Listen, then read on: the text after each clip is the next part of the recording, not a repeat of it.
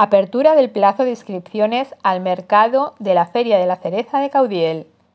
La Feria de la Cereza, tal y como se conoce actualmente, se inició el 13 de junio de 1998,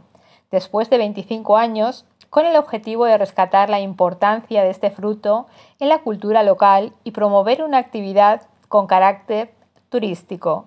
Si bien es cierto que en el mes de mayo de 1973 se celebró una sencilla fiesta de la cereza, en cuya jornada jóvenes ataviadas con el traje de castellonera obsequiaban a los visitantes con ramilletes de cerezas.